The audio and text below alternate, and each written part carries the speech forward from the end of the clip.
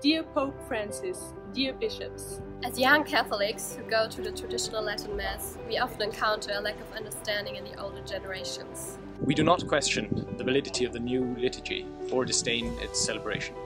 We love the traditional Mass not because we are old and grumpy. We love it not because we are old fashioned. We love it not because we are separatists.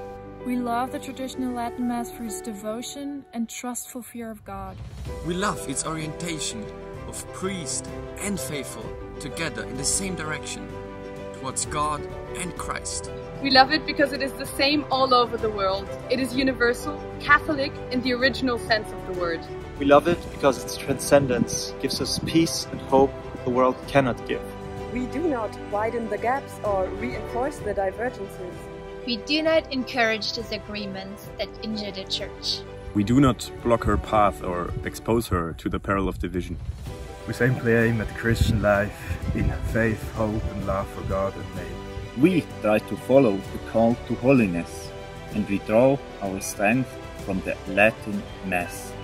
Dear Holy Father, dear bishops, we are not just a few deplorably stubborn adherents of an outdated rite. As loyal Roman Catholics, we are your multitudinous and lively youth. We are your sheep. We are your faithful. We pray for you every day. Please do not let us down. Can we count on you? Can we count on you? Can we count on you? Can we count on you? Can we count on you? Can we count on you? Can we count on you? Can we count on you? coming down on you.